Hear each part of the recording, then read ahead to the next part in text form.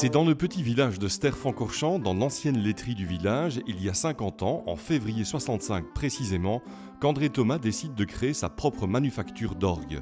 Menuisier ébéniste de formation, André Thomas est avant tout un passionné de musique d'église, amoureux de l'instrument qu'est l'orgue et au-delà, intéressé par les tuyaux, l'harmonisation, les souffleries et des commandes mécaniques. J'ai travaillé un an avec mon épouse et puis par la suite euh, c'est mon frère qui est venu nous rejoindre, qui s'était spécialisé lui dans la restauration et la construction des tuyaux en étain, donc euh, étain plomb toujours. Hein. Et puis progressivement l'entreprise s'est élargie, euh, un apprenti et puis un, ébéniste supplémentaire. Et alors voilà, nous sommes maintenant à 12 personnes, chacun ayant son domaine bien précis. On n'a pas assez de sa vie pour apprendre le métier, tant il peut être euh, complexe, parfois difficile aussi.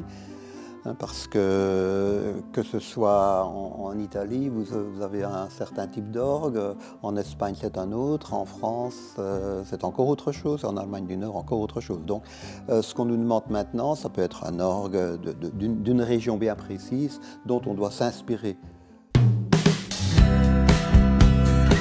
Il y a 15 ans, le fils d'André, Dominique, a repris l'entreprise pour la mener là où elle est aujourd'hui, père et fils, deux harmonistes reconnus dans le monde entier. Euh, disons que Dominique, bon, euh, j'ai essayé de le former le mieux possible, ça c'est clair, mais c'est vrai que par lui-même aussi, il a développé ses, capacités dans le domaine de l'harmonisation, particulièrement en accompagnant Bernard Faucroul dans tous ses enregistrements sur les plus beaux instruments d'Europe.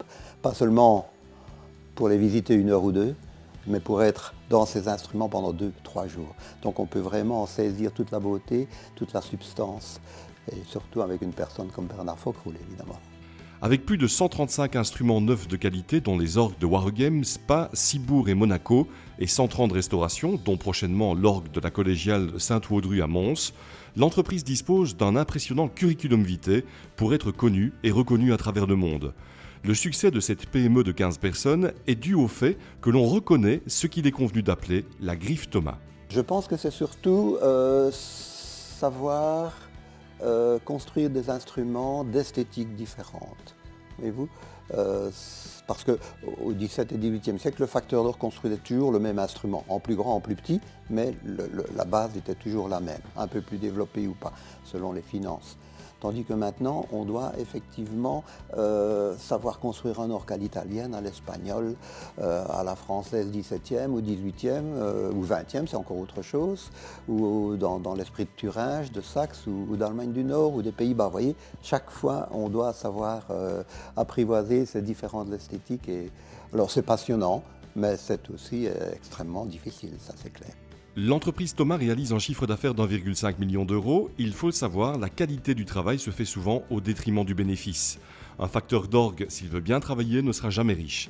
En revanche, la manufacture Thomas dispose d'un joli luxe dans le secteur. Son carnet de commandes est rempli pour les deux prochaines années. L'entreprise Thomas est aussi une belle aventure familiale puisqu'elle a occupé ou occupe encore une épouse, des frères, un beau-frère, des fils et même aujourd'hui un petit-fils. La relève est donc assurée.